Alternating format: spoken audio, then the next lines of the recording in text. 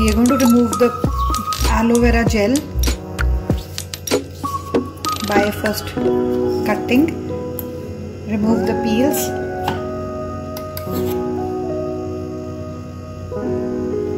If you don't have aloe vera at home you can use aloe vera gel. Ready-made aloe vera gel also uh, can be added or uh, you can miss any of the ingredients that I'm using today for the hair mask. All of these ingredients are very good. So if you don't have one or two it's perfectly fine.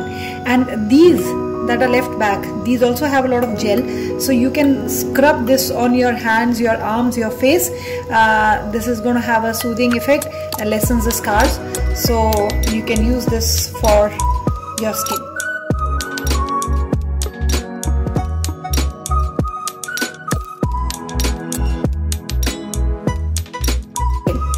So I'm heating a few cinnamon sticks with oil. This is coconut oil.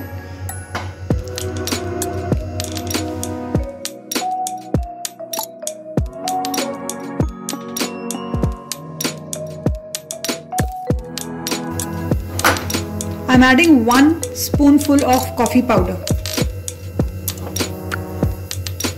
Coffee powder and tea leaves and green tea.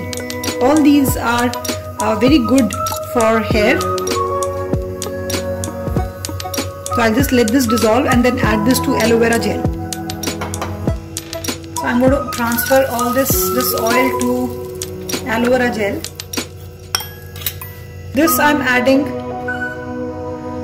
one egg